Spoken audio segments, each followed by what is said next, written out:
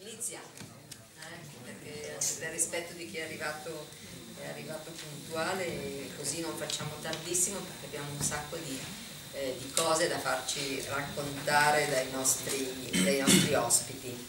La trasformazione della cultura d'impresa nella provincia italiana, il caso di Vigevano, è il titolo di questa serata che si inserisce in un mini ciclo eh, di incontri, il prossimo sarà domani sera alle 18.30 all'Auditorium San Dionigi, che va a esplorare il tema della filiera produttiva del territorio attraverso la sua storia ma proiettandosi verso il futuro. Mi piace questa sera avere qua eh, le ragazze del corso moda dell'Istituto Casale perché sono un po' il nostro futuro e quindi anche le testimonianze che andremo a raccogliere eh, dai nostri relatori possono essere utili spero per, per, per loro. Eh, relatori che saluto e ringrazio e sono il professor Adriano Ballone, il professor Giacomo Balduzzi, Massimo Martinoli.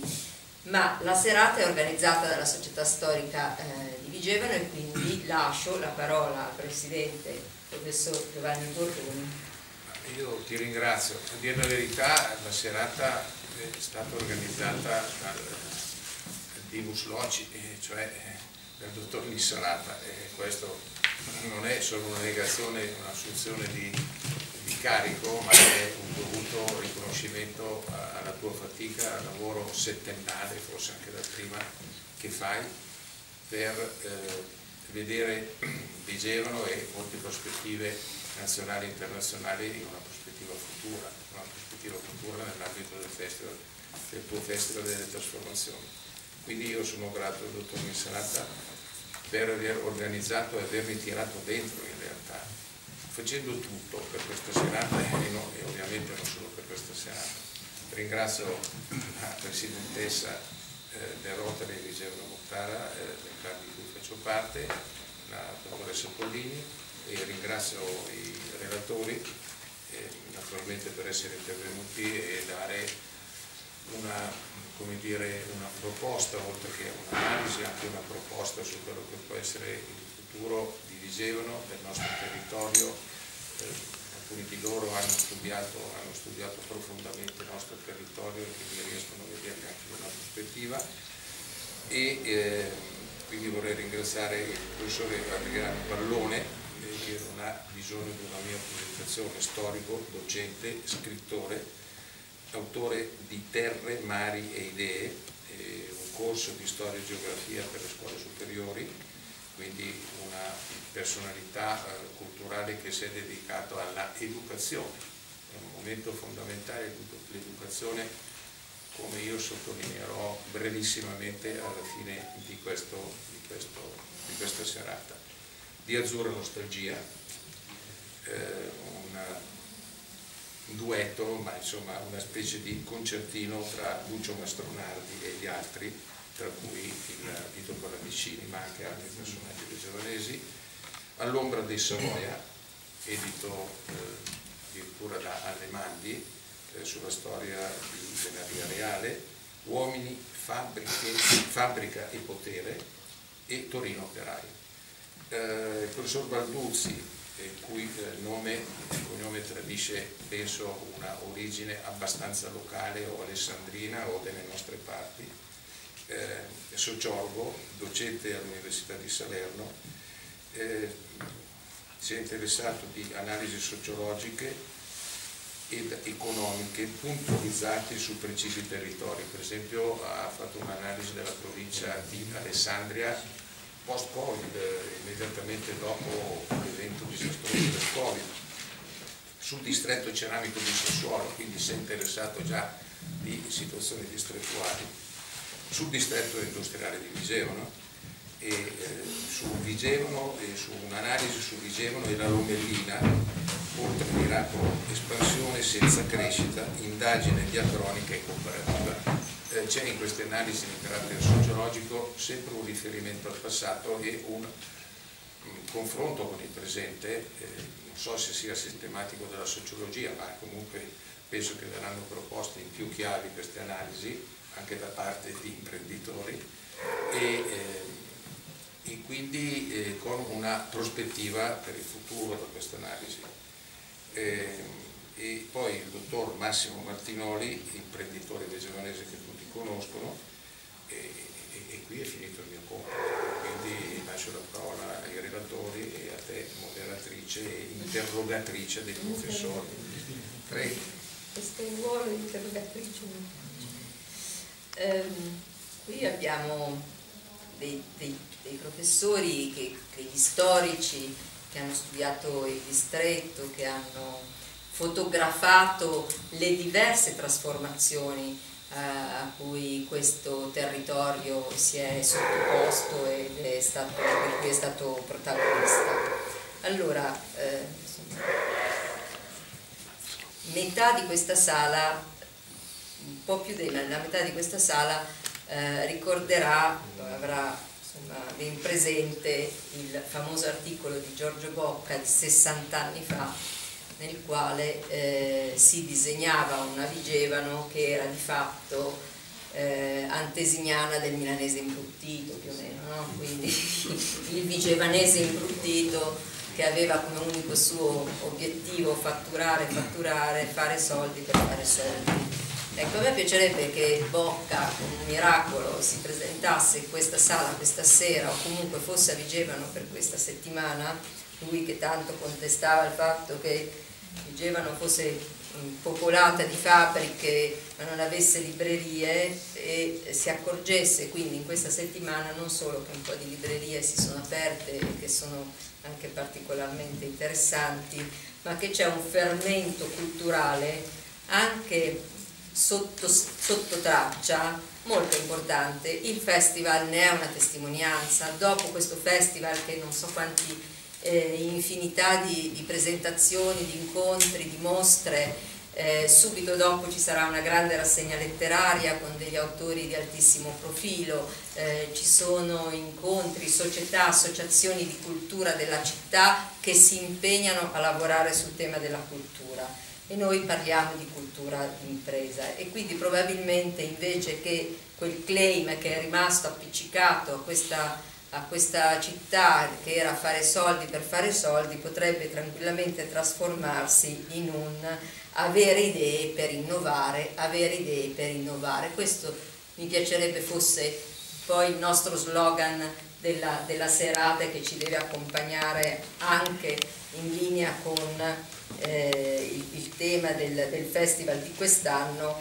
e con eh, l'obiettivo di Pavia Capitale della Cultura d'Impresa, che lo ricordo è un po' il contenitore di alcuni di questi, di questi incontri.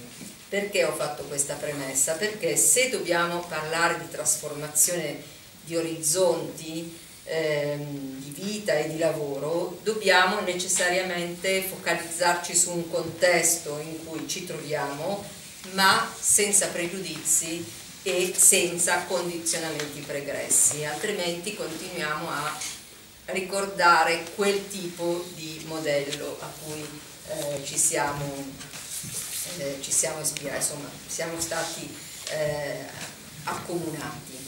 E quindi eh, cercheremo di scardinare ma soprattutto di indagare queste trasformazioni con i nostri ospiti. E parto proprio da Ballone. Eh, Ballone che appunto come citava prima il Presidente eh, Borroni eh, nel suo, in uno dei suoi tanti lavori, Azzurra Nostalgia, ha studiato due personaggi focali del nostro territorio, che sono Lucio Mastonardi e Vito Pallavicini, e li ha messi a confronto in un lavoro magistrale di, di, di, di poesia più che di letteratura e di storia, eh, però ha, ha, anche messo a fuoco una serie di contraddizioni di quel periodo. Ecco, vorrei da lui un'analisi di che cos'è il genio del luogo, perché di questo stiamo parlando, no? di come si coltiva l'ingegno in una città che, ricordiamolo, se, se lo sappiamo tutti, però ha la piazza più bella del mondo, ha il Caramuel e gli sforza, le fabbriche, le scuole, la tecnologia e la moda, quindi questa città che ha in sé potenzialità infinite, come può coltivare al meglio oggi per domani il suo ingegno. Se avete una pistola io la uso subito. È, è Genius Loci, ma io sono fermo alla lezione di Vito Teti, grandissimo antropologo calabrese, eh, che quando parla di genius loci dice, premette sempre il cosiddetto, perché il genius loci in realtà è qualcosa che sfugge, scappa, non la si vede, eh, diventa talmente generico che la domanda che lei fa la, la potremmo rovesciare magari in un'altra maniera che è più attinente ai lavori che ho fatto. E quello che è successo a Vigevano negli anni 50 e 60 poteva succedere da un'altra parte? E vi rispondo con tutta franchezza per aiutarvi a crescere. Sì, poteva succedere benissimo da un'altra parte. Una serie di coincidenze portano a far sì che alcuni eventi si caratterizzano proprio in questo luogo.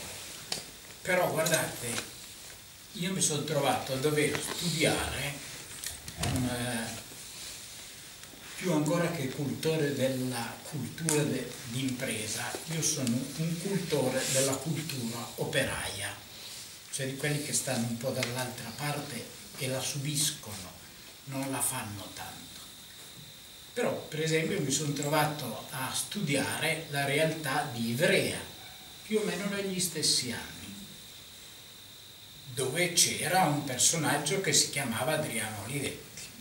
Eh, mi è capitato di dover studiare a partire dagli anni 20 in avanti, lo citava il Presidente, eh, la realtà di Venaria Reale, che è vero che viene, nasce grazie ai Savoia, ma non dimenticatevi che ad un certo punto, tanto per dirvi, Venaria Reale è un piccolo comune vicino a Torino e ad un certo punto ha 12.000 operai di fabbrica.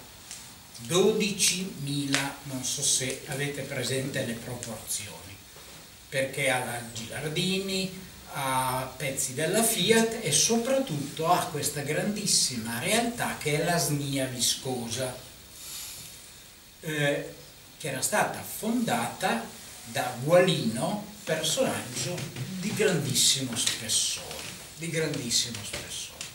Torino non sa neanche chi è Gualino, sebbene abbiano su una delle colline una villa hollywoodiana che tutti chiamano Villa Gualino e se gli vai e gli chiedi perché, dice, boh, sempre chiamata così, dice, eh no, prima di costruirla non si chiamava così. Eh, cosa c'è di diverso? Per esempio, una delle cose che è venuta fuori è che a Venaria Reale non c'era una libreria, non c'è mai stata una libreria, mai stata. Quando io l'ho studiata, a Ivrea ce n'era una, una, l'ho scritto in azzurra nostalgia. Io credo, per essere molto chiari, non faccio provocatore, per dire che Giorgio Bocca di Vigevano dell'epoca non ha capito niente, niente.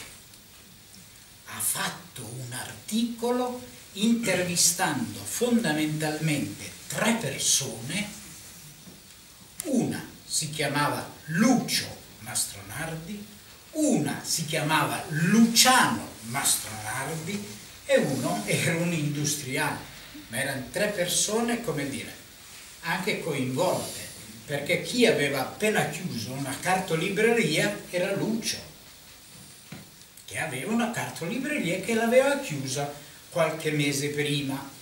In realtà Giorgio Bocco viene prevenuto, ha già un'idea in testa, e spiega la realtà non per come la conosce, per come la verifica, ma per come l'ha costruita e verifica se è vero quello che lui dice. Voi capite che partire così è vero che il 90% della scienza parte così, però partire così mi spiace, io sono un Ma ho detto senza pregiudizi. Io sono, sono uno storico che ha come compito quello di distruggere le fonti, di andare dalle fonti e dire ma sei proprio sicuro? Voglio rivederla quella fonte, questo è un po' il mio mestiere.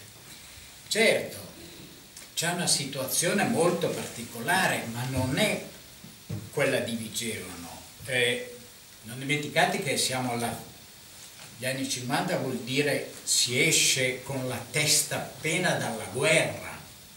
Ed è stata una guerra devastante per tutti. E guarda caso cominciano a crescere economicamente in tutto il mondo tre paesi, tre, che sono l'Italia, la Germania e il Giappone. Guarda caso i tre paesi che sono rimasti sconfitti e questo ci dovrebbe indurre a fare tutta una serie di riflessioni.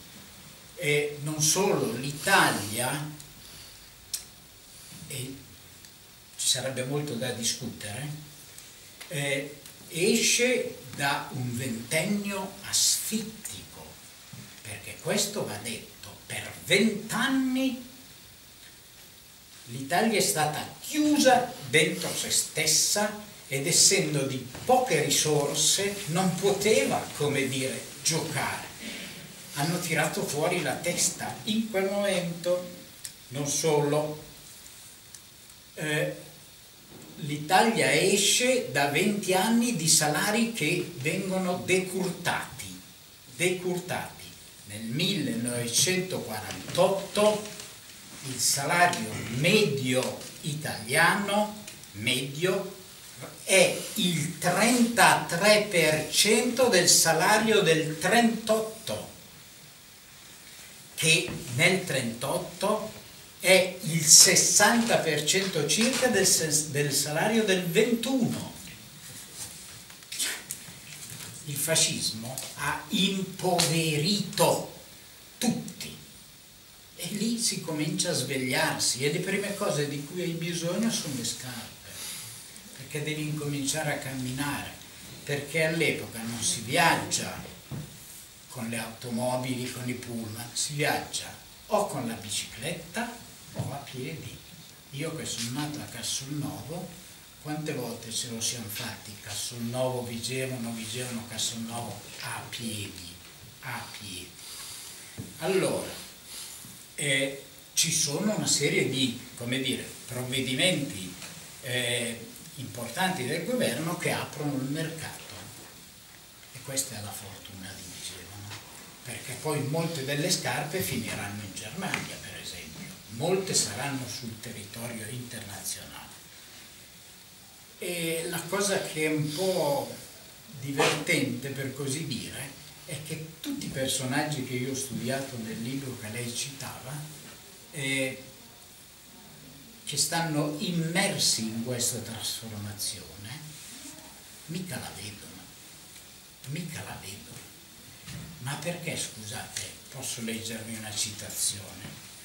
L'aveva già capita benissimo questa cosa, un signore che io adoro, vi invito a leggerlo perché di lì avrete molte idee. Si chiamava Lucrezio Caro, De Rerum Natura, sulla natura delle cose. Duemila anni fa. Ed Lucrezio dice così passo a passo trascina il tempo quella stessa cosa che la ragione poi conduce in zone luminose. Si capisce dopo cosa è successo, si capisce molto dopo. Loro lo vivono, ma quando se ne accorgono il processo è finito. Il processo è bene che è finito. E allora questo ci invita, lo sto dicendo perché sta, sta diventando un mio pallino. Eh, Giorgio Bocca quell'articolo lo fonda usando come criterio il raggiungimento del successo, ma avrebbe dovuto usare un'altra categoria. Che senso ha il fallimento? perché nel 64 è il fallimento che si viene a registrare e non è forse più importante del successo il fallimento? Quante volte falliamo nella vita? Una quantità incredibile di volte. Io credo, io credo fondamentalmente, ecco, eh, che questo dovremmo cogliere di quel passaggio lì. E, come dire, noi storici che abbiamo studiato il Novecento, poi abbiamo fatto costretti, tirati per i, capelli, per i capelli, a fare un manuale per le scuole di storia antica. Grazie, che me l'ha ricordato, perché non è mica male, guardate. Uno che ha studiato tutto il Novecento, poi ti fanno fare il manuale di storia greca e romana. Cavolo, quanta roba hanno loro da insegnare a noi? Tantissima, tantissima, tantissimo, molto di più di quello che noi potremmo insegnare a loro. E abbiamo capito fondamentalmente una cosa, insomma, che le grandi trasformazioni, io sono fermo a quello che dice la all'identità delle trasformazioni, alla qualità delle trasformazioni così come le ha individuata la Elizabeth Einstein, che ha studiato la stampa, la nascita della stampa. E le trasformazioni sono, lei parla di inavvertite, arrivano, ti beccano qua, ma non te ne sei accorto. E mi piace soprattutto lo ritengo quasi il mio padre spirituale recente, anche se è più giovane di me, ma mi fa rabbia questa roba. Adoro i quarantenni, i trentenni che sono di una, quando sono bravi sono di una bravura.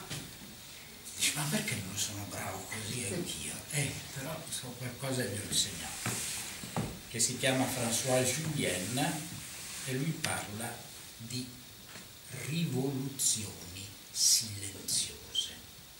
Beh, noi storici del Novecento che eravamo innamorati delle rivoluzioni a sprombattuto, chiassose, violente, abbiamo dovuto ricrederci e abbiamo scoperto che le vere rivoluzioni riguardano per esempio la lavatrice. La lavatrice ha cambiato il mondo e noi non ce ne siamo accorti. Io sto studiando e me ne vanto quella grande trasformazione che va sotto il nome di sessualità.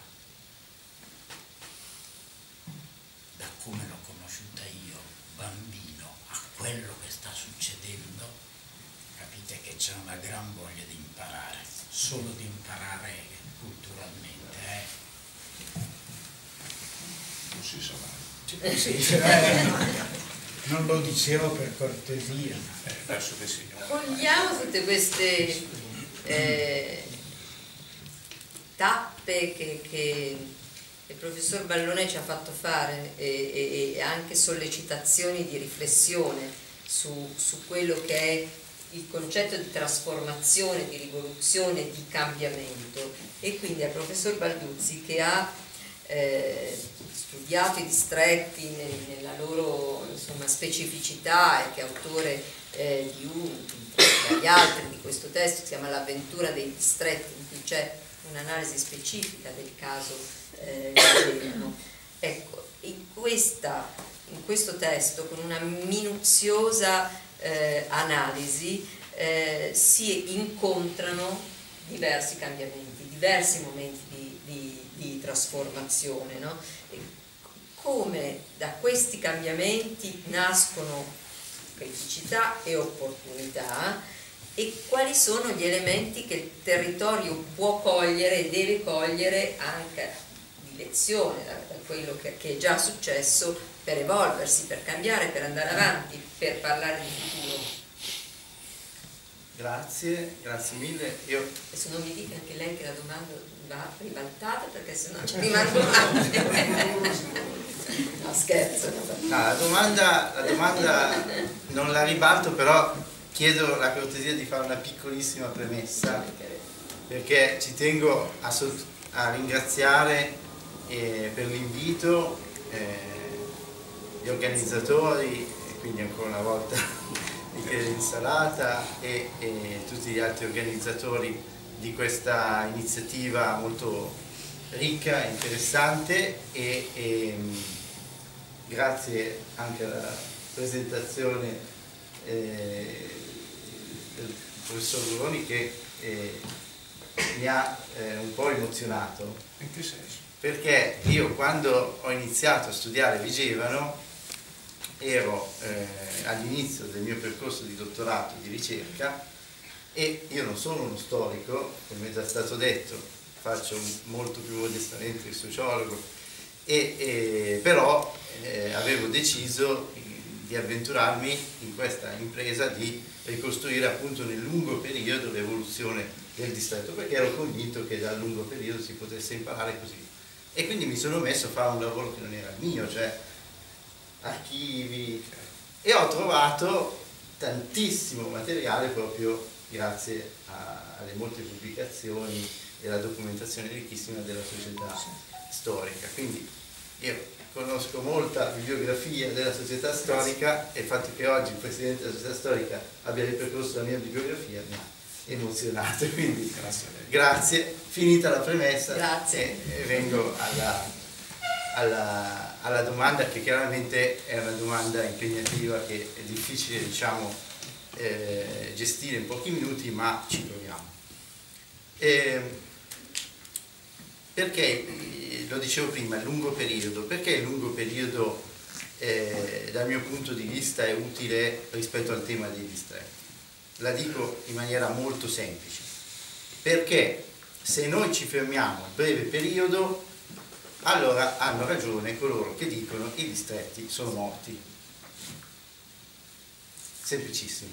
Se noi ci fermiamo a una lettura del fenomeno distrettuale del breve periodo, soltanto legata a quel momento storico del dopoguerra, eccetera, è chiaro che quella transizione lì, quel modello di sviluppo, chiaramente è finito, è terminato, perché è finito il ciclo, perché è cambiato il mondo, insomma, per tutti i motivi che non sto a riprendere perché li, li sapete benissimo.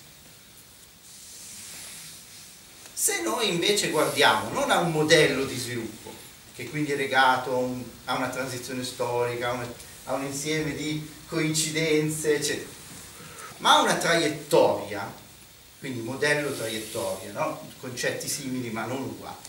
Se noi guardiamo una traiettoria, invece la faccenda cambia.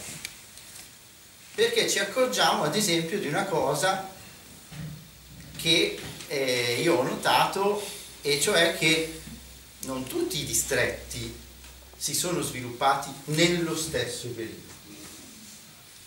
Ad esempio, il distretto di Vigevano, quando Giorgio Bocca scriveva quel famigerato articolo, era in una fase già di discesa della sua crescita. Stavano crescendo distretti calzaturieri in altre regioni, in Toscana, nelle Marche, e eh, invece a quella fase di crescita importante che c'era stata prima negli anni 30 e poi negli anni 50 era in un momento di discesa.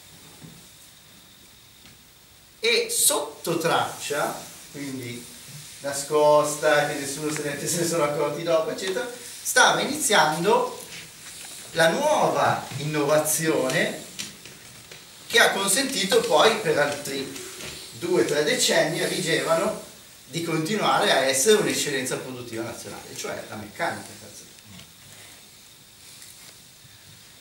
Allora, se noi guardiamo nel lunghissimo periodo, nella traiettoria di sviluppo, noi vediamo che quindi c'è qualche cosa, e questa è la tesi che io sostengo, nel distretto, non inteso come modello ma come traiettoria, che eh, va cercato altrove, non in quelle caratteristiche stilizzate che negli anni 70 sono state un po' ipostatizzate, quindi la specializzazione nello stesso settore, le piccole imprese, quelle caratteristiche stilizzate che sono ancora oggi, per capirci, i criteri con cui l'Istat seleziona i distretti, dice questo distretto, questo no, eccetera.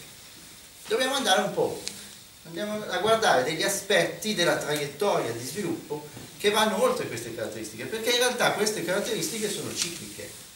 Vigevano non nasce come un territorio di piccola impresa, quindi sarebbe fuori. Vigevano negli anni dell'Ottocento non era affatto un territorio di piccola impresa, era un territorio di grande impresa, c'erano le, i, i setifici grandi, no? E continua a essere un territorio di grande impresa dopo una fase di frammentazione negli anni eh, 20, negli anni 30. Perché? Perché c'è un'ulteriore innovazione, la gomma. La gomma esige grandi imprese. E quindi negli anni 30 le piccole imprese spariscono di nuovo e si crea di nuovo un territorio di grande imprese. Quindi vedete che queste caratteristiche della idea stilizzata del distretto sono caratteristiche cicliche che nel lungo periodo non tengono. E quindi dove dobbiamo andare a cercare, e chiudo questa prima parte, dove dobbiamo andare a cercare le traiettorie di sviluppo? Eh, io propongo alcuni elementi e tra questi ci sono, diciamo, eh, quella che io chiamo l'identità economica. Quindi il fatto di un legame, e qui forse il genius loci c'entra qualcosa, cosiddetto, eh, un legame tra la speranza di sviluppo di una comunità locale, cosiddetta comunità locale, perché anche il concetto di comunità è un concetto complicato, lo sappiamo, la speranza di sviluppo, la speranza di benessere di una comunità locale e ciò che caratterizza un tessuto produttivo. Questa che molti definiscono identità economica, noi la troviamo nei distretti, non la troviamo altrove. Anche se magari degli elementi di specializzazione ci sono, ma non c'è l'identità economica, non c'è quel riconoscere. E questa identità e qui mi è piaciuto molto l'intervento del professor Ballone, quindi lo, lo uso, questa identità questa identità io la collego a un tema di memoria collettiva. Perché? Perché questa identità non si forma nel mentre, perché nel mentre non se ne accorge nessuno. Si forma dopo un certo po' di tempo, la scarpa vigevano inizia negli anni 60 dell'Ottocento, io ho cercato caparbiamente nell'archivio comunale, i, ho letto tutti i verbali dei consigli comunali, non c'è traccia di discorsi sulla scarpa, fino ai primi anni del Novecento. Per 50 anni la scarpa è stata la novità economica che ha fatto la fortuna di questo territorio e non ne parlava nessuno in consiglio comunale ce ne si accorge dopo un po' di tempo.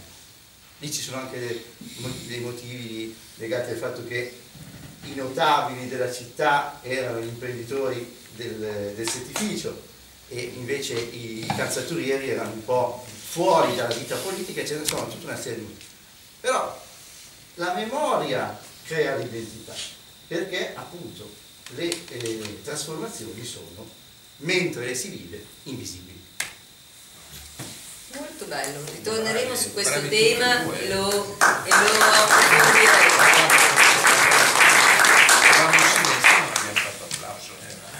Vi avrei castigato. Ora, vediamo dal punto di vista dell'impresa. Massimo, eh, Massimo Martinoli, imprenditore calzaturiero, titolare dell'azienda Cesare Martinoli Caimar, che ha 80 anni eh, e che produce quella che io chiamo eleganza, non lui è l'azienda, eleganza e bellezza. Non sarebbe stato necessario. No, perché sentivo, sentivo già la, la, il commento. Ora, l'impresa che pure vive dire, nella sua quotidianità la necessità di far fronte a una serie di contingenze specifiche del degli aspetti economici, degli aspetti di relazione con, con le risorse umane, con gli operai e così via, ma dando uno sguardo un po' più ampio, quanto la storia del distretto, quanto la storia del territorio ha inciso eh, sulla capacità dell'impresa di evolversi e secondo te quali sono ancora i punti di forza del calzaturiero, visto che tu qua rappresenti questo settore e, e, e ne abbiamo parlato per proiettarci appunto in un, in un futuro. Buonasera a tutti innanzitutto.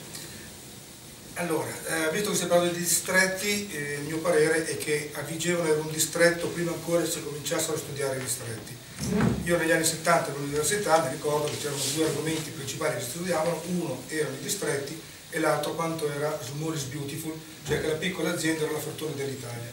Concetti che ora vanno molto rivisti, eh, forse anche come diceva il professore, su certi punti anche che non esistono più perché Vigevano era un distretto prima ancora che c'erano i distretti, perché il, i vecchi, quella generazione prima della mia raccontavano, era che a Vigevano quando c'era il famoso modellista, quello che disegnava le scarpe, che adesso sono i grandi designer, ma a quel tempo era un uomo di fabbrica che faceva dei disegni, riusciva in una giornata a raccogliere tutto, riusciva a farsi il tacco, a farsi la forma, farsi eh, la tomaia, a farlo orlare, al mattino usciva con l'idea, alla sera aveva già la scarpa finita, perché inconsciamente c'era quel distretto per uscito dalla porta trovava tutto quello di cui aveva bisogno. Poi con l'evoluzione degli anni molte cose sono venute a mancare. A questo punto mm, mi viene sempre da ricordare una famosa frase detta per chi ha conosciuto Torino Bossi, che era un grande imprenditore vigevanese, che usava, diceva sempre dire l'industria di massa calzaturiera è un treno che viaggia verso la povertà, nel senso che occorre tanto manodopera e l'industria si sposta dove la manodopera costa meno.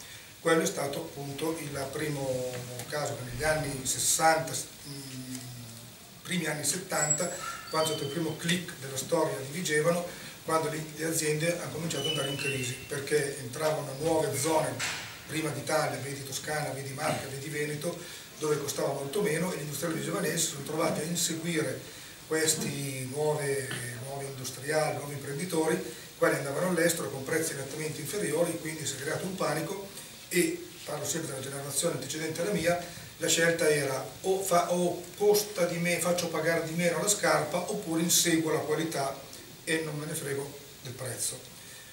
Coloro che hanno fatto la prima scelta quasi tutti sono spariti perché non hanno potuto sostenere perché poi dopo i toscani, marchigiani e veneto sono arrivati la, quelli dell'Europa dell'Est e poi il Far East che ha distrutto tutto.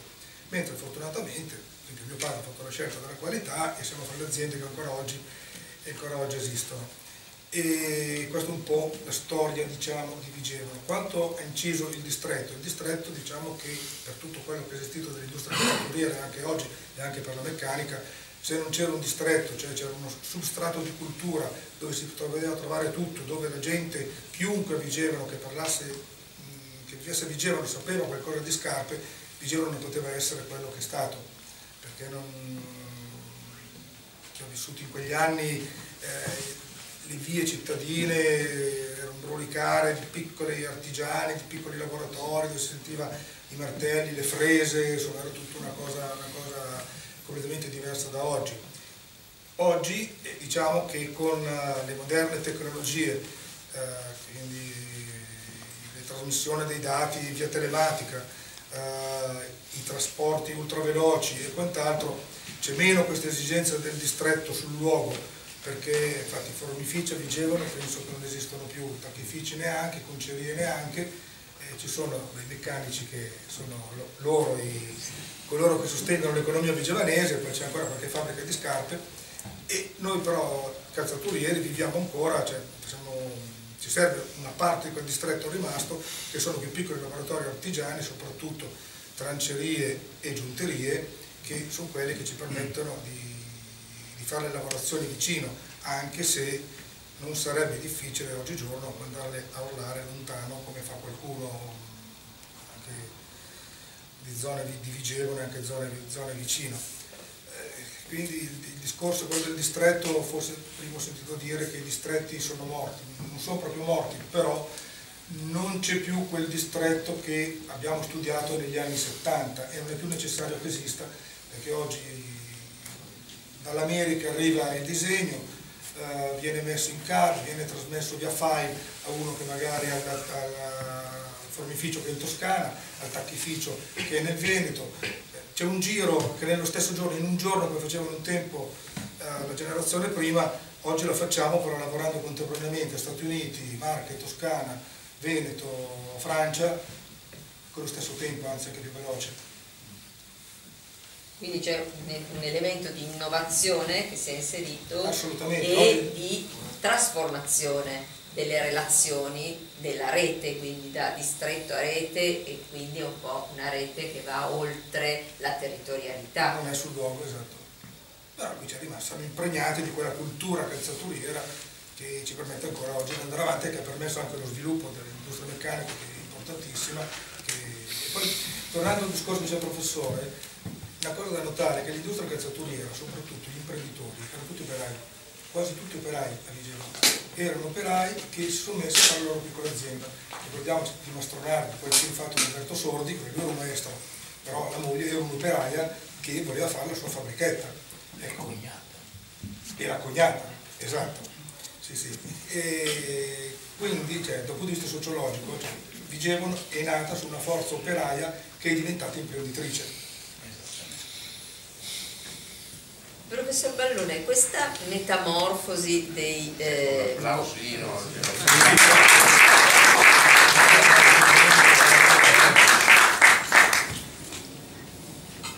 Abbiamo parlato di modelli, traiettorie, trasformazioni, metamorfosi quasi di modelli industriali.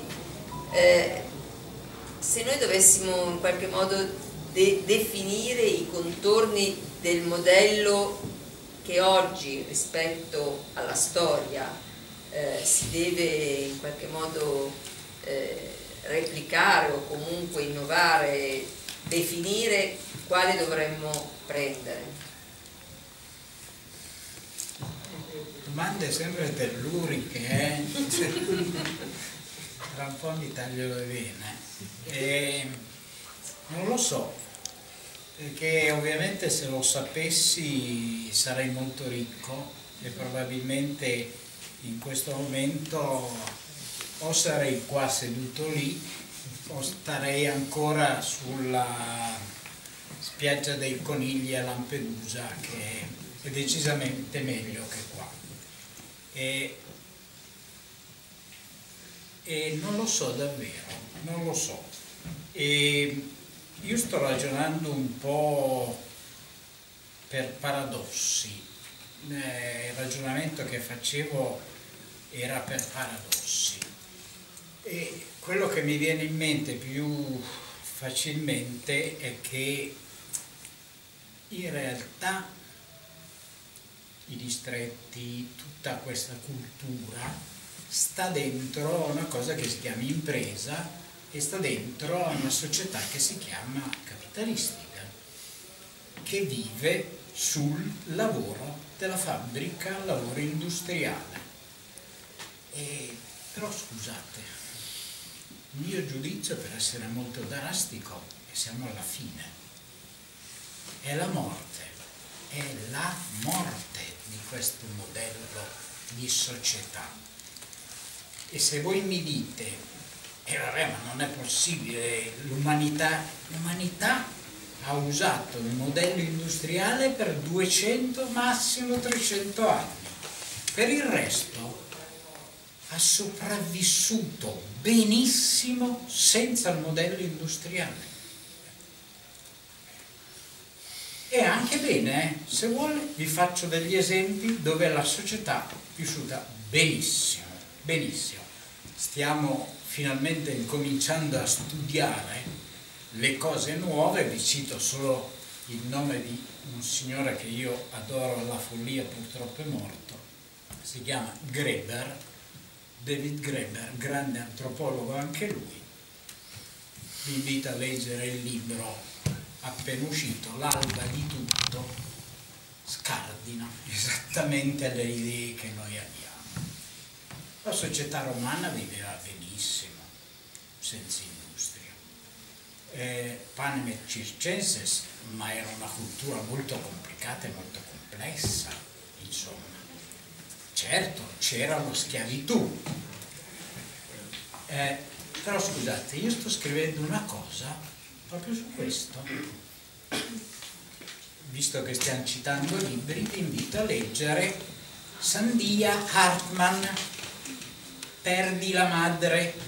Lei è una afroamericana che viene da una famiglia di schiavi e torna in, in eh, Costa d'Avorio nelle sue radici, Costa d'Avorio e Ghana nelle sue radici.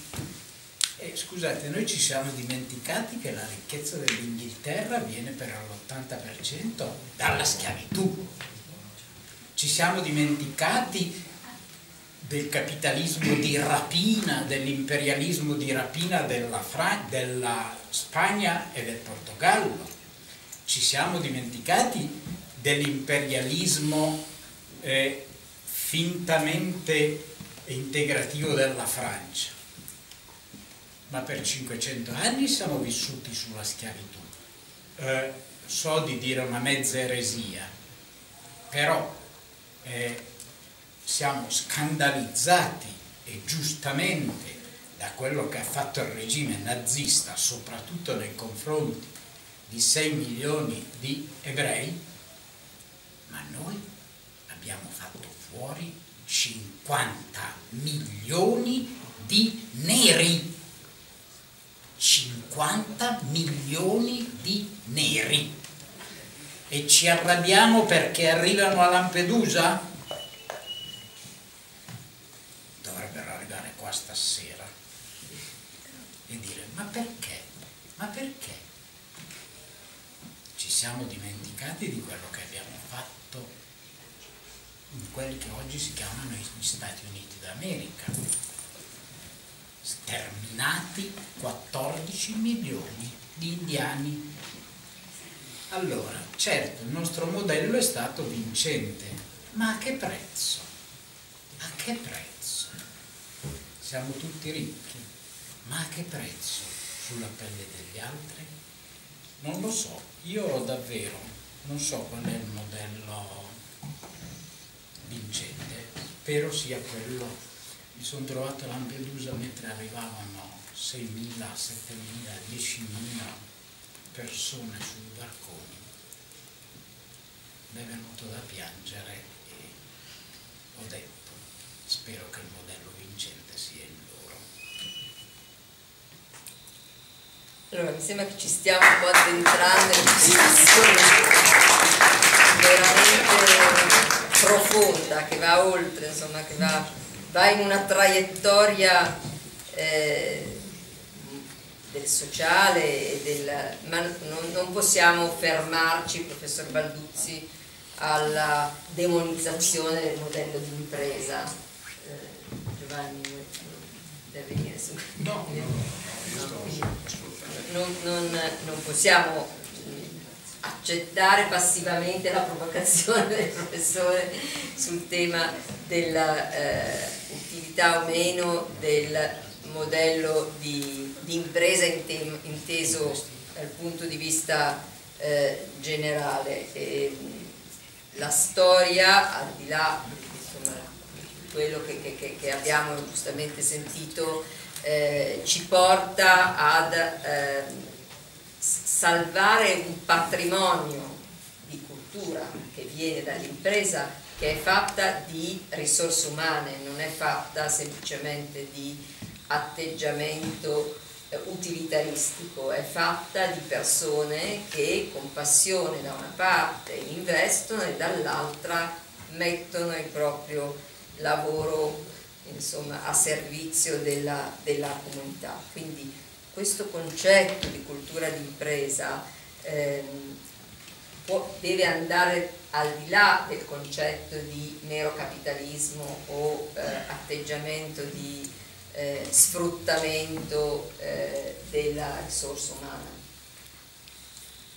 Sì, eh, scherzando con il professor Ballone, allora qui devo fare l'avvocato del diavolo, nel senso che non possiamo fermarci alla demonizzazione e mi, e, mi, e mi, hanno interrogato.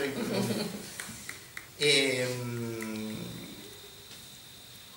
per me, diciamo, eh, parlare di cultura d'impresa in generale in Italia, ma in particolare in territori come quello di Gevanese, che sono stati attraversati e sono ancora attraversati dalle traiettorie distrettuali, quindi qui rispondo, io non ho detto e non direi mai che sono morti i distretti, ho scritto un libro per dire il contrario e, e quando prima parlavo, io citavo altri colleghi che sostengono questa tesi, sono vivi nella traiettoria, non nel modello, perché il modello, come dicevo, è un modello che risente di, quel, di quegli anni 70 che citava prima il dottor Martinoli. No? Quindi parlare di cultura di impresa in territori, in generale in Italia, ma soprattutto in territori che sono stati attraversati dalla traiettoria dello sviluppo distrettuale, significa parlare anche di cultura del territorio. C'è una circolarità dal mio punto di vista tra la cultura d'impresa e la cultura del territorio. Perché? Perché la cultura del territorio, come dicevo prima, risente di quei processi di identità economica, quindi di identificazione tra la popolazione locale e quella speranza di sviluppo e di benessere rappresentata dal distretto, inteso come quel eh, identificarsi in un prodotto, in un saper fare, in un, in, in, un contesto di, di, di, di, produzione. E quindi la cultura di territorio è influenzata da questa cultura di impresa e la cultura di impresa è influenzata da questa cultura di territorio. C'è una circolarità tra la cultura di impresa e la cultura del territorio. E in questa circolarità, dal mio punto di vista, si smentisce la vecchia idea di innovazione di Joseph Schumpeter. Se voi avete presente uno dei massimi teorici dell'innovazione, lui sostiene che l'imprenditore, l'innovatore, è colui che sa vincere le resistenze del contesto. C'è un contesto che è contrario all'innovazione e l'innovatore combatte queste resistenze. In territori di impresa come eh, quello in cui siamo oggi, questo viene smentita questa idea, perché il territorio è un territorio favorevole all'innovazione. Veniva citato prima il rapporto tra le aziende e, um, della meccanica calzaturiere e le aziende calzaturiere. Io nel libro sostengo che quello non è un altro distretto, come ha scritto qualcuno, è lo stesso distretto, perché eh, non soltanto quando ai primordi della meccanica calzaturiera c'erano le aziende che prendevano gratis le macchine per testarle, no? ma anche quando io sono venuto qui a studiare questo distretto nel 2012 c'era ancora questa abitudine. Eh, e grazie di questo aggiornamento che, in diretta che, che, che mi, mi, conforta. Ecco. Quindi eh, un contesto in cui l'imprenditore innovatore non deve combattere contro una società che contrasta l'innovazione, ma si trova dentro a un contesto di innovazione. E eh, siamo qui in questa scuola e eh, qui c'è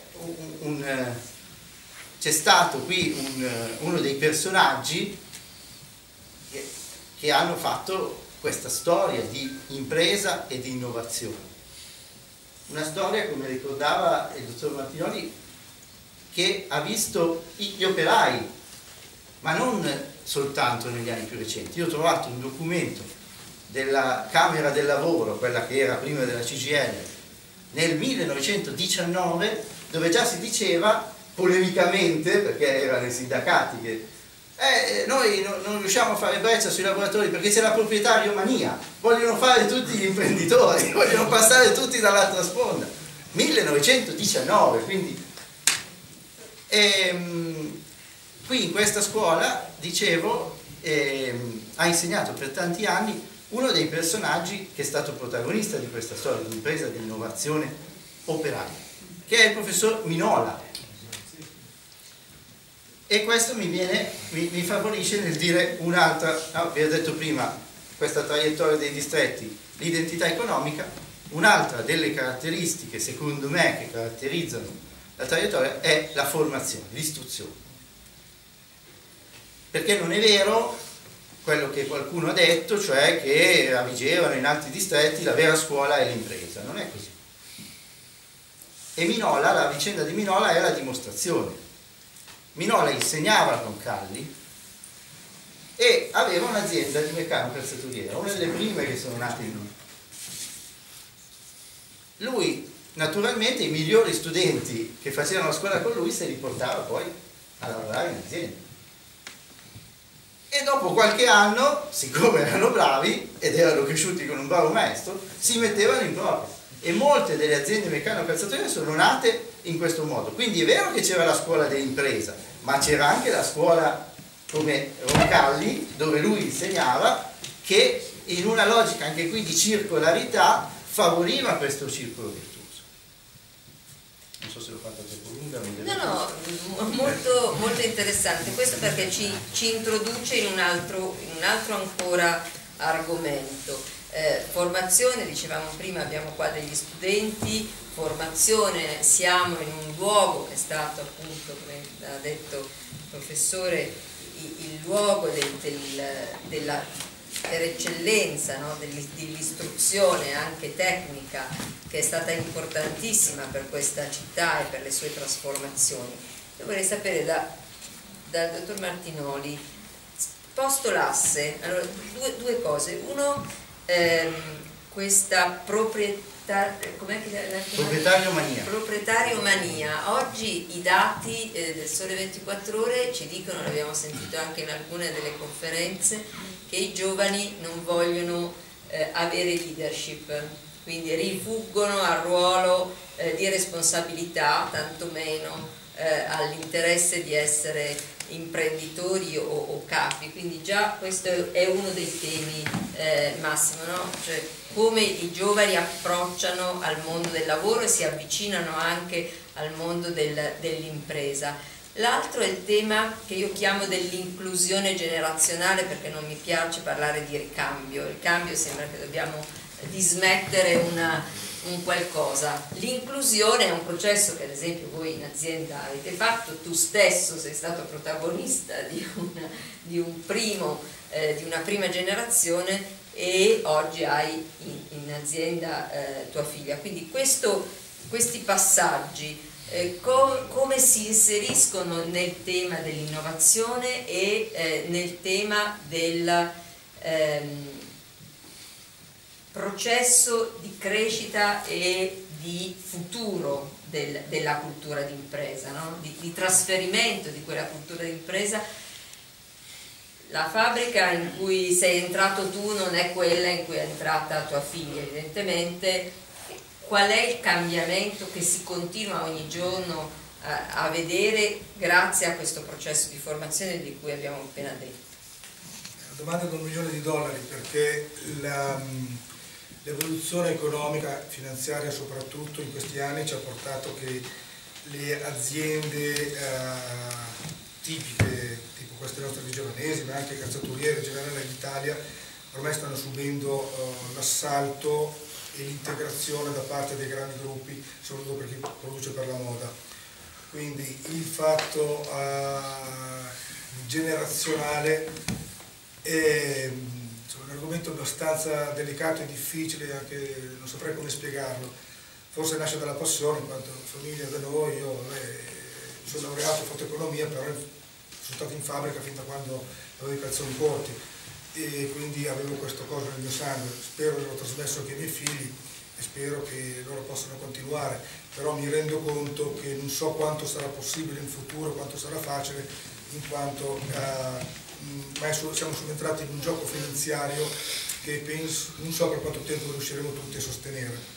quindi su questo però vorrei riprendere un attimo un argomento che mi sta molto a cuore perché soprattutto si è toccato un nervo scoperto che mi preme moltissimo, la formazione perché Vigevano ha, ha due grossi problemi uno, quello della formazione perché non è più il tempo di mi faccio eh, l'esperto, tecnico in fabbrica eh, costruisco lì, ma occorre una scuola di formazione che Vigevano in tanti anni non siamo riusciti a fare soprattutto non per mancanza di fondi, non per mancanza di volontà, cosa, perché mancano i ragazzi che vogliono venire a imparare a fare i tecnici delle scarpe.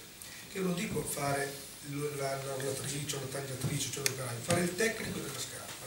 Quindi c'è una scuola di formazione che insegna ai ragazzi una cultura della scarpa tecnica, poi chi è bravo andrà a fare il direttore di fabbrica, chi è meno bravo andrà a fare l'operaio, però quantomeno c'è una cultura della, della, scarpa che oggi manca ed è il nervo scoperto di noi, ma non solo di Vigero, eh, perché anche a zone, c'è solo una zona d'Italia dove riescono a farla bene che è nel Veneto, con il Politecnico della Calzatura, ma lì sono tantissime fabbriche, hanno una grande volontà, non hanno anche la concorrenza di città come Milano che portano via molti giovani che sono più attirati dalla grande città, però la formazione è proprio la cosa più necessario, perché senza quello siamo destinati a avere grossissimi problemi nel prossimo futuro. L'altro problema, lo accenno, ma tanto lo sappiamo tutti, perché Vigevano non si possa sviluppare rispetto ad altre zone sono le infrastrutture. Vigevano sono tagliati fuori dal mondo, eh, mi domando sempre perché una città come Parabiago, che è grande un terzo di Vigevano, che non ha le infrastrutture che ha Vigevano dal punto di vista economico, quindi non ha industrie meccaniche, non ha tutto quelle quella, quella diciamo, rete, rete di giunterie e di trancerie, infatti loro vengono a Vigevano, per loro si sono sviluppati, grandi gruppi si sono trasferiti là, c'è solo un motivo. 20 minuti arrivano dal centro di Milano, arrivano, arrivano a Parabiago, Vigevano ci mettono un'ora e mezza, magari anche due quando c'è traffico. Quindi questo è l'altro argomento, se è troppo ampio, se ne è parlato tantissimo, spero, boh, non so. Sentivo parlarne quando ero, anzi, ho scoperto, uh, pulendo vecchi archivi di mio padre, c'era un informatore vigevanese del 1971, mi sembra se ricordo bene, e c'era l'architetto Savini, ormai defunto architetto Savini, che spiegava al Consiglio Comunale il progetto della strada che presto avrebbe congiunto Vigevano a Milano con grande sviluppo per l'economia vigevanese. 1971.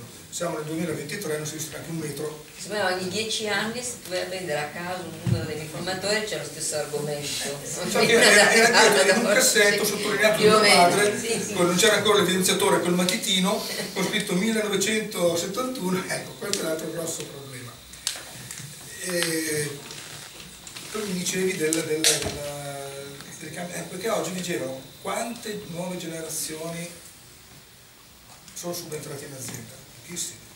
Io ho tre, mi vengono in mente, amici che conosciamo, e altri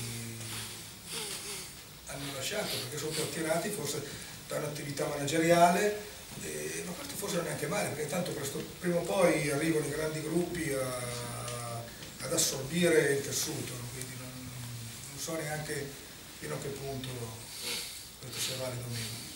Ma noi dobbiamo custodire questo concetto di cultura dell'impresa per poter dare continuità a questa memoria, a questa traiettoria, no? La traiettoria non... La cultura, non voglio farlo storico visto che qui, però nel DNA del vigevanese c'è questa cultura di impresa, perché se andiamo indietro fino agli anni 1000, arrivando fino all'evoluzione ultima della meccanica, siamo partiti dalla, dalla lana alla seta, al cotone, si è sempre voluto a seconda dei tempi, a seconda delle esigenze, perché facendo concorrenza, facendo noi cinesi di, di Milano, perché abbiamo portato via il lavoro dove a Milano vediamo costare troppo, lo facevamo noi vigevanesi, quindi è mille passanni che Vigevano ha questa cultura di impresa che si è tramandata.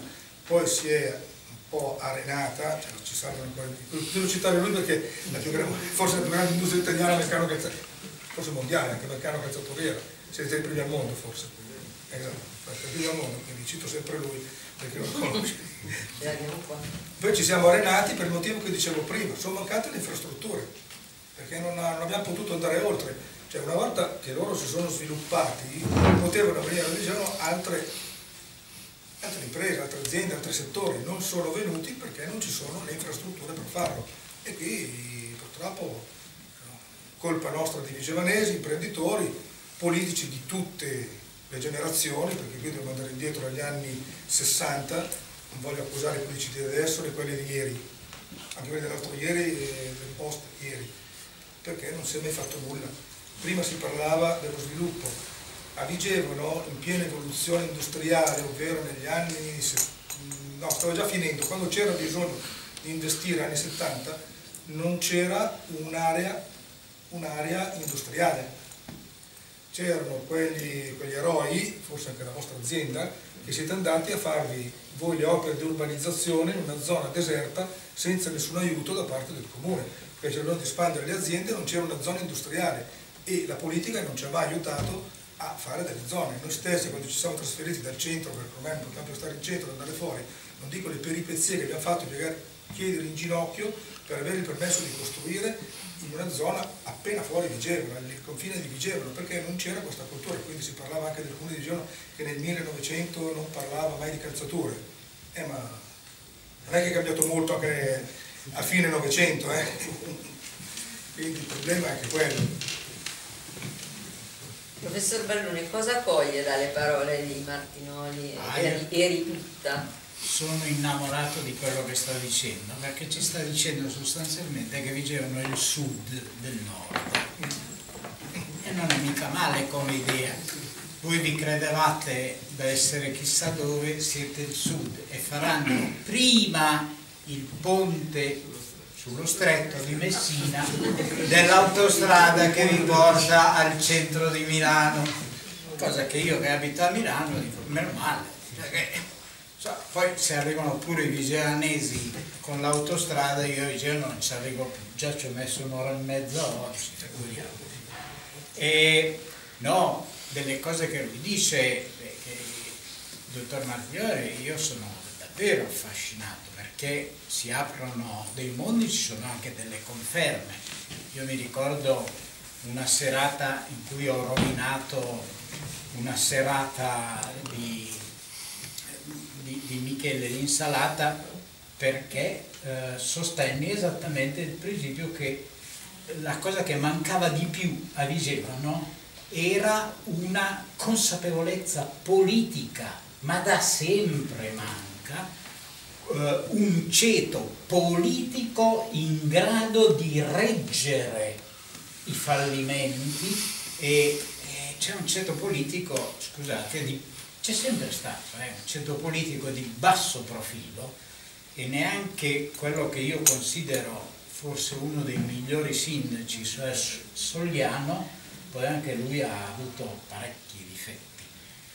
Una delle cose che diceva Martinoli è estremamente affascinante, ma questa è la natura vera, per così dire, della cultura del distretto, è questo L'errore che fa, è, secondo me, uno degli errori che fa Giorgio Bocca è un incipit straordinario di quell'articolo, favoloso ma sbagliato, sbagliato nell'intimo, perché quelli che i soggetti a cui lui si riferisce, secondo me, non hanno come spinta motrice fare soldi per fare soldi per fare soldi.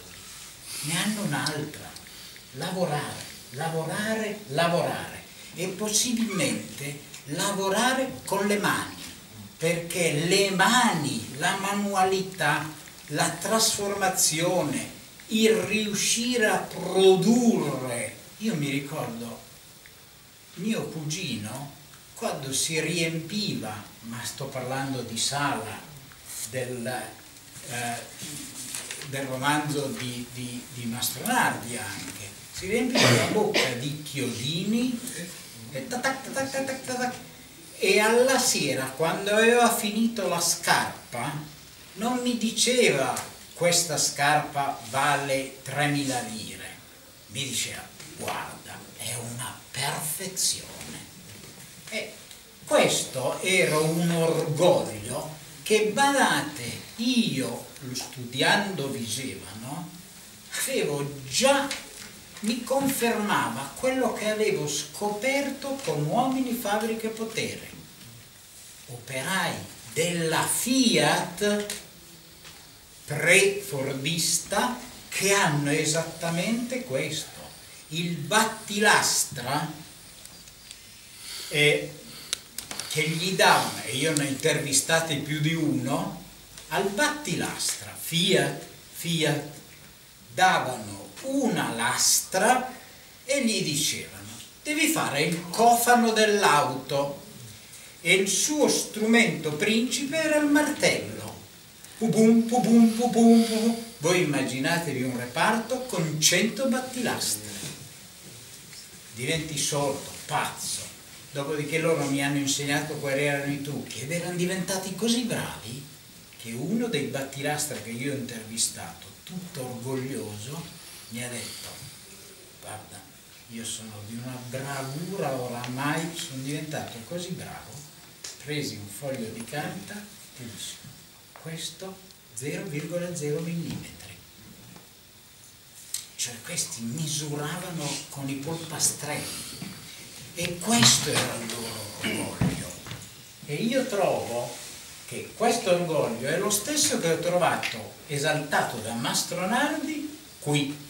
E quando lui dice il maestro è un lavoro da cani, non va fatto, è perché lo paragona al lavoro operaio e scopre che il lavoro operaio in realtà è un'altra cosa, è fatto di grande intelligenza, è fatto di grande...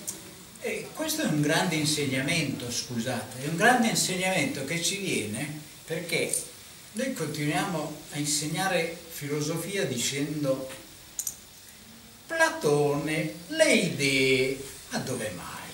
Ma dove mai? La prima filosofia, il primo filosofo che abbiamo in Grecia si chiama Talete, che non era un filosofo, era un tecnico, un, detto con il linguaggio di oggi, un geometra. Qualche geometra oggi gli si accappona la pelle pensare a una cosa del genere. E lui... Anche, anche Montale era un ragioniere anche Montale, ma Ragioniere già aveva a che fare con qualcosa di spirituale, i numeri. Lui doveva misurare il porto, il Pireo, come funzionava, come far arrivare alle navi e come non farle stare lì dentro. Beh, scusate, questo è importante. Vi ho citato, mi viene in mente una cosa così, ma la, giusto per chiudere, perché la mia grande passione per la cultura operaia popolare, che è quella che fa da substrato a tutto quanto.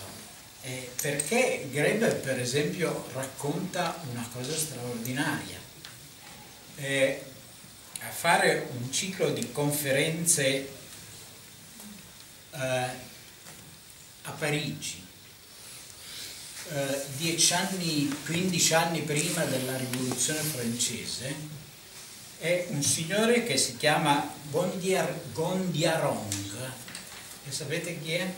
È eh, un capo, il nome vuol dire topo muschiato. Era uno statista Wendat che le famose cinque nazioni indiane attorno a dove adesso c'è il Canada e questo signore era, si era arruolato nell'esercito francese, i francesi gli hanno insegnato il francese e l'hanno portato a Parigi, quindi venne a vedere quanto siamo bravi. Lui gira a Parigi e fa l'antropologo, per così dire, di Parigi. Dice, ma questa è la vostra cultura, questo è il vostro modo di fare, ma non sia mai. Noi là abbiamo una cosa, bla bla bla, e la snocciola e nessuno sa come chiamarla, era la democrazia.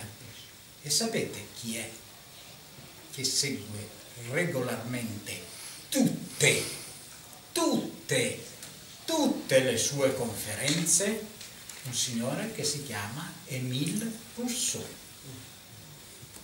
capite alcune idee dove le ha prese? Io credo che forse è arrivato il momento di rovesciare le frittate, incominciare anche ad andare a chiedere a chi usa le mani. Quando ero, mi sono trovato al Ministero, a lavorare per dieci anni al Ministero, a cercare di riformare la scuola media superiore, in Italia è impossibile.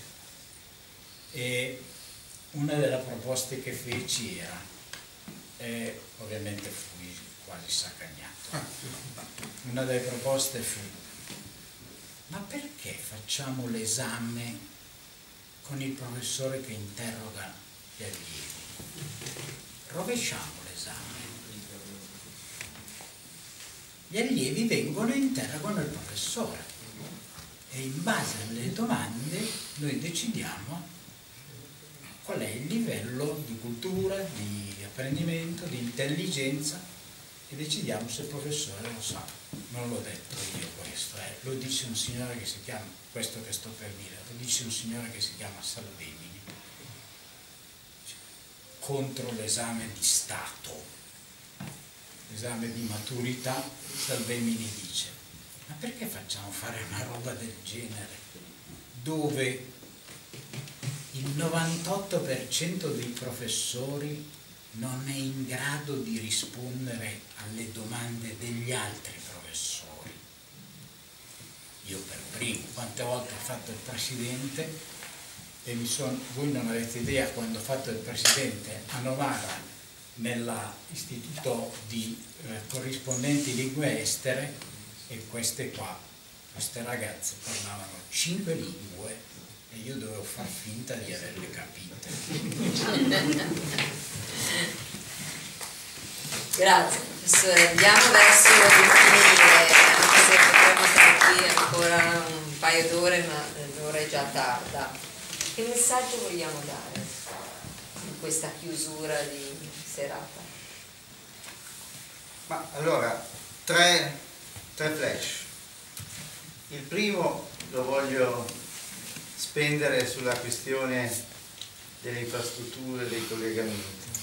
Perché mentre sentivo parlare il dottor Martinoli, il mio animus di alessandrino rileggeva il tutto nella, nella lingua alessandrina.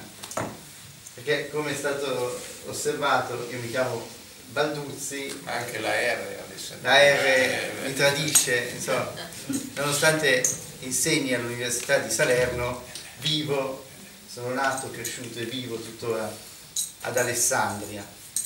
E ehm, Alessandria fino a qualche decennio fa era un polo logistico nazionale, avevamo una stazione che era collegata con eh, le principali città italiane, insomma. Poi a un certo punto è arrivata l'alta velocità Si è dimenticata di passare lì. E Alessandria se l'è, se l'è bellamente bevuta in, in un, eh, in un cocktail e, e adesso abbiamo una immensa stazione per, mi dicono, qualcuno mi dice un quarto, qualcuno mi dice di più, insomma, comunque in gran parte in disuso, non sanno che cosa fare, binari morti che non si sa che cosa fare. Noi, io stesso quando devo andare a Salerno, l'unica possibilità è l'Intercity notte ci mette 12 ore, l'alternativa sarebbe andare a prendere l'alta velocità a Milano, ma è comunque complicato. Non si riesce ad andare da nessuna parte, ho scoperto che Vercelli, 35 minuti in auto da Alessandria, Vercelli ha tutti i giorni un treno che va a Parigi, ma non c'è un treno che va ad Alessandria. Cioè, Insomma. Si arriva, si arriva a Vigevano, si arriva a Vigevano. E lui sì, però si arriva a Vigevano e, e- e poi si, si prosegue avventurosamente anche per, per Milano con la famosa tratta che, che conoscete molto bene. Il famoso treno che all'incontrario va, come Esatto. cantava Vito Pallavicini. Esattamente. Ecco, quindi eh, la mia battuta su questa questione è che appunto le infrastrutture da sempre, non è una novità, da sempre creano una gerarchia dei territori. No?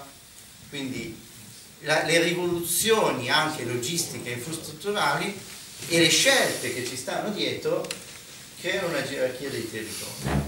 E, e siamo messi male, come dicevano come Alessandra, in questa odierna, attuale eh, trasformazione eh, logistica. È chiaro che dobbiamo trovare no, delle, delle, modalità per eh, reagire a questa situazione e eh, individuare delle modalità per eh, andare oltre no? e, e, far valere anche eh, le esigenze di, co di, co di, collegamento, di comunicazione. E questo mi porta al secondo flash. Il secondo flash riguarda appunto le scelte collettive. No? Eh, le scelte collettive le, fa, le fanno le istituzioni, ma non le fanno solo le istituzioni anzi a volte le istituzioni sono costrette a farle perché altri attori si, si, si, si mettono no?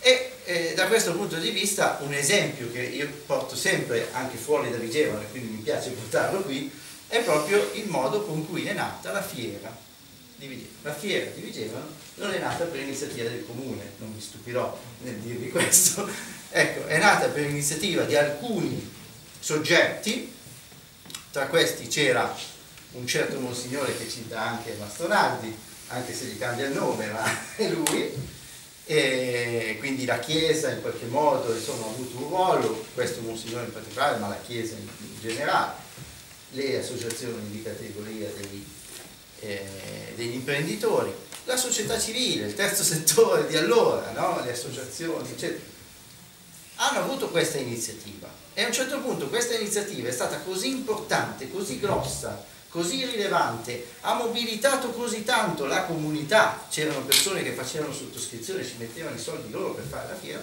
che il comune a un certo punto ha dovuto, diciamo, metterci la sua parte e poi a un certo punto ovviamente ha fatto quello che deve fare il comune, cioè ci ha, messo, ci ha messo il cappello, quindi poi se ne è appropriato, è diventata la, la, la, la fiera del comune, e, e questo poi tra l'altro ha consentito il riconoscimento nazionale e tutto quello che succede dopo.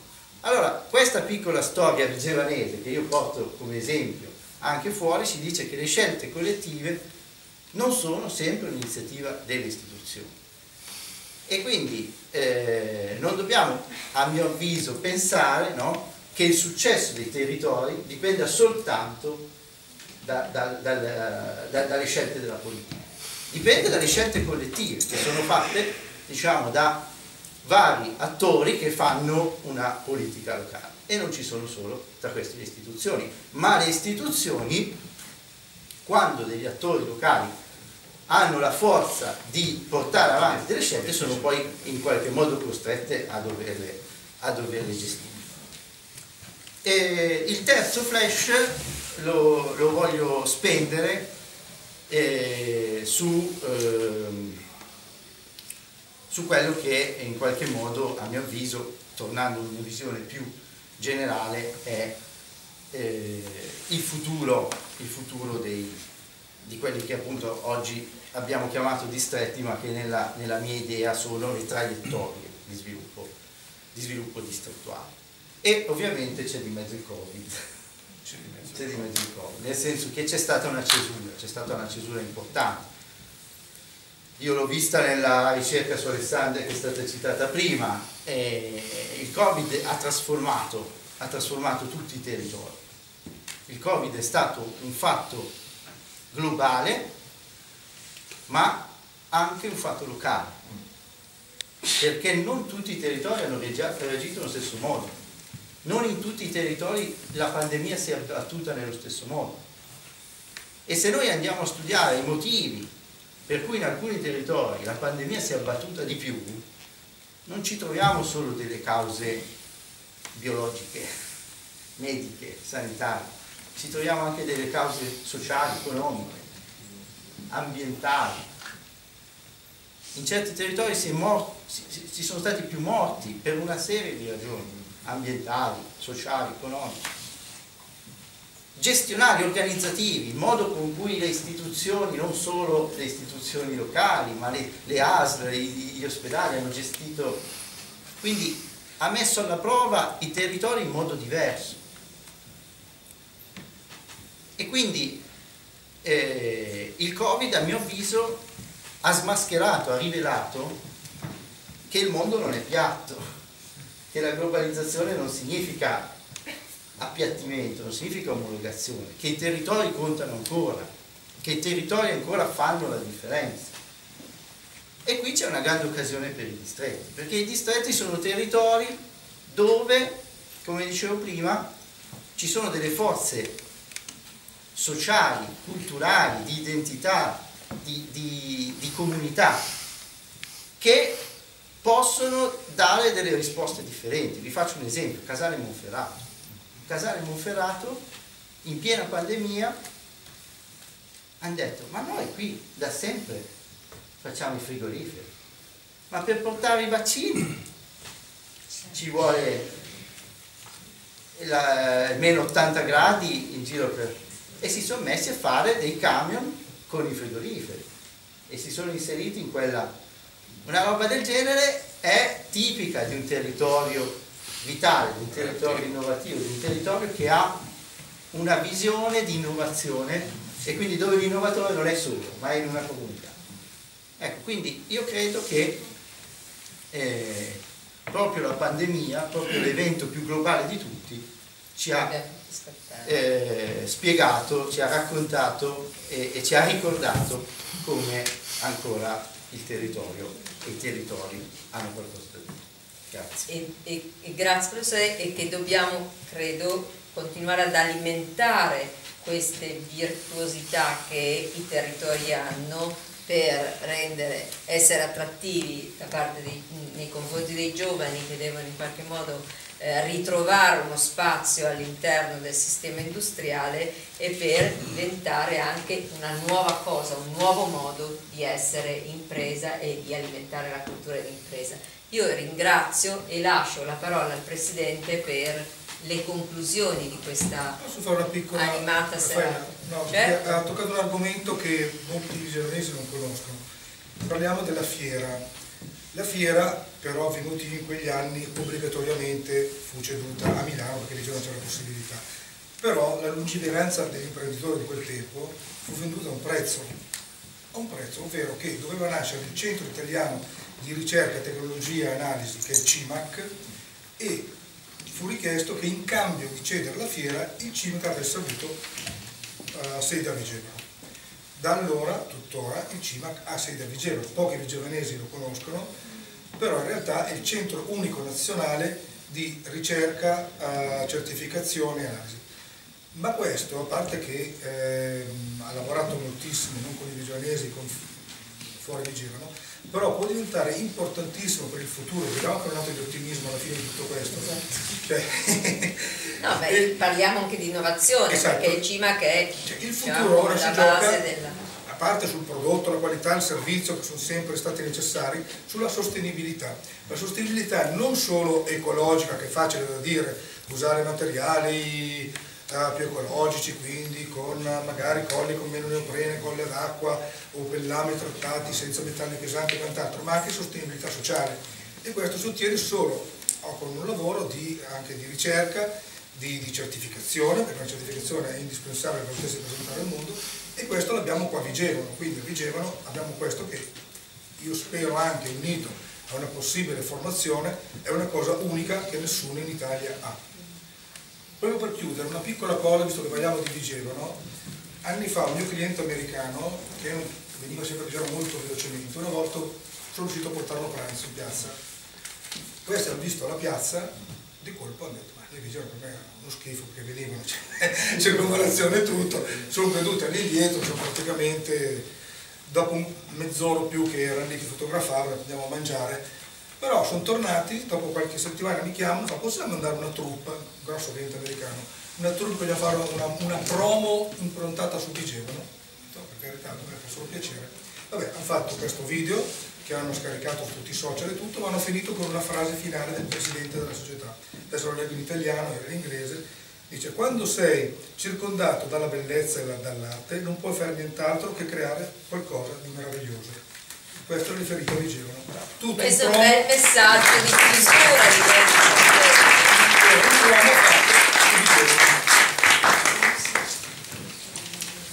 Dottor Gorroni, a lei. Ma io, a dire la verità, dovrei fare una conferenza a questo punto. Però penso che i relatori e tu siete stati così bravi eh, che ci sia poco da dire, eh, se non alcune annotazioni. Professor Balduzzi dice che i distretti quando ci sono, quando funzionano e quando una città come Vigevano tira, eh, nessuno se ne accorge, se non per il benessere.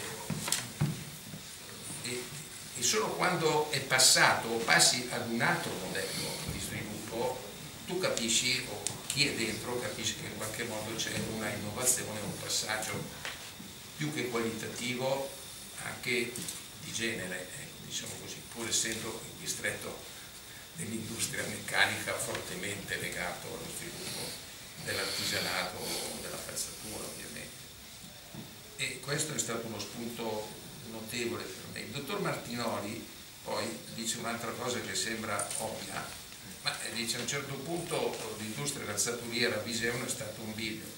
O riusciamo a produrre delle scarpe come in Cina o come si producevano in India, cioè a bassissimo prezzo, ma abbiamo dei, delle persone, eh, delle nazioni o dei subcontinenti più bravi a produrre ad un prezzo minore, o ci mettiamo a fare una calzatura qualificata di classe da export, da museo.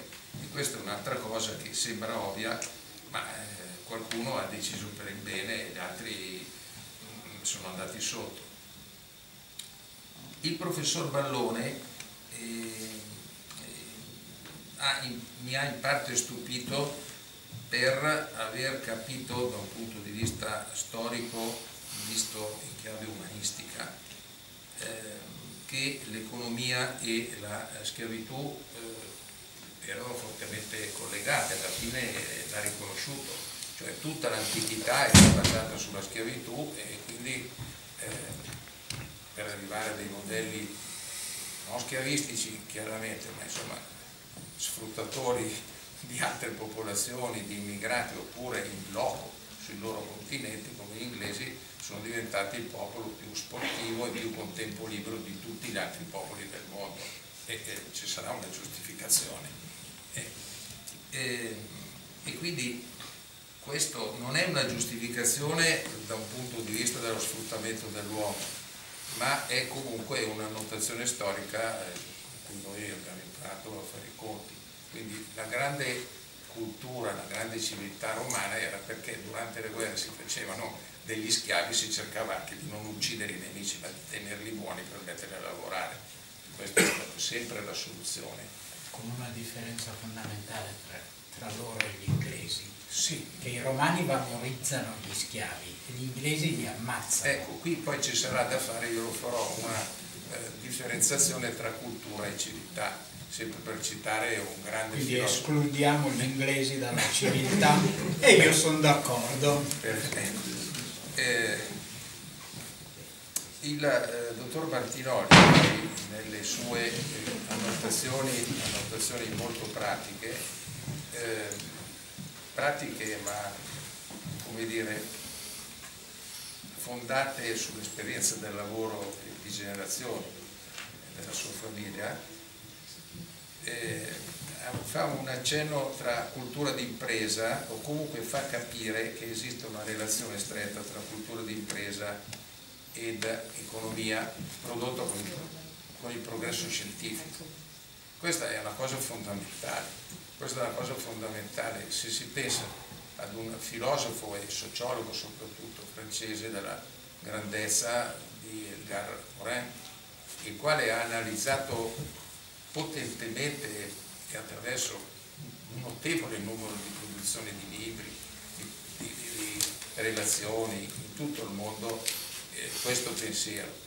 Esiste una cultura di tipo umanistico e una cultura di tipo scientifico qui siamo arrivati a rederazione e i relatori di questa sera appartengono in parte ad una cultura di tipo umanistico, per cui metto il professor Ballone. Purtroppo. No, no, e, e penso che no, non si offenderà, anzi è una gran cosa, e eh, relatori che secondo me eh, hanno dato, hanno una componente fortemente economico-scientifica come il dottor Martinoli, eh,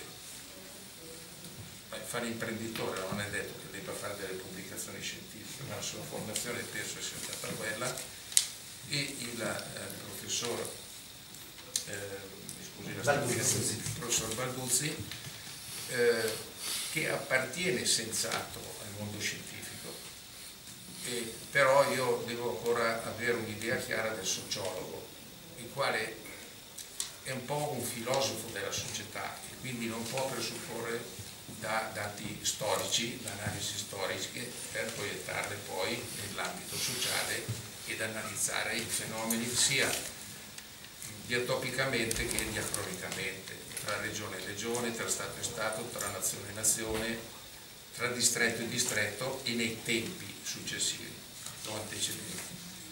Eh, il, pensiero di, di, di, questo grande ultracentenario che, che Moretti ho scoperto da, non molto, eh, è, è complesso.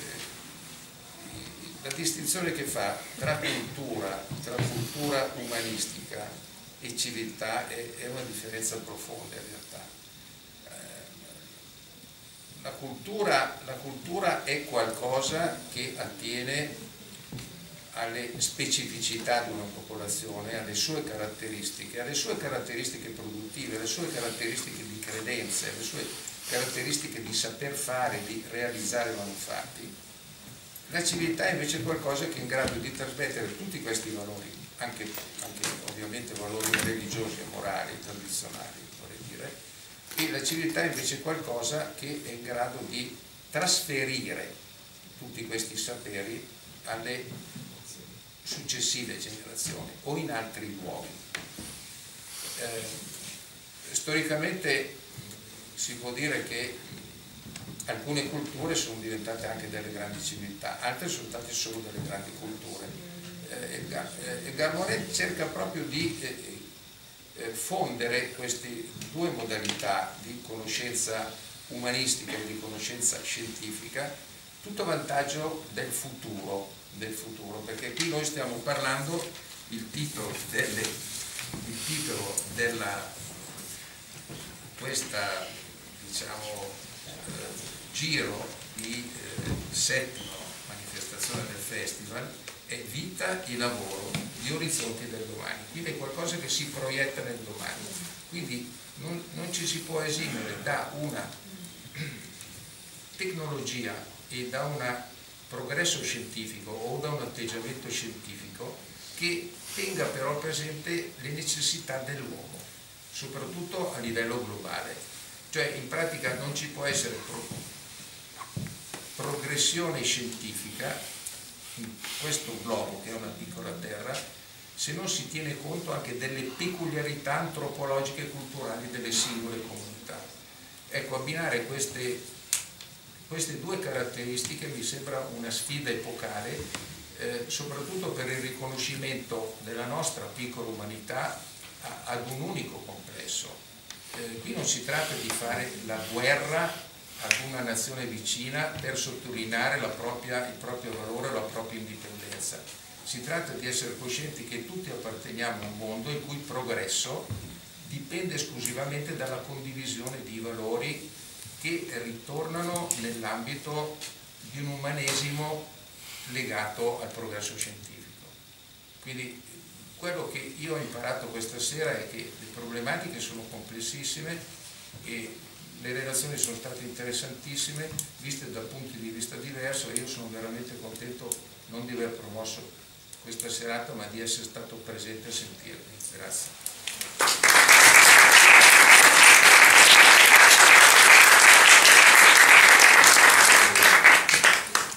grazie a tutti, grazie ai ragazzi che, alle ragazze che sono fermate fino a ora tarde, domani hanno lezione, grazie a Michele Salata che continua il suo percorso fino a sabato quando avremo il professor Salvemini proprio in questa sala a raccontarci del quid imprenditoriale e quindi l'appuntamento è per seguire le tante ancora i tanti so che è il nipote, lo so. grazie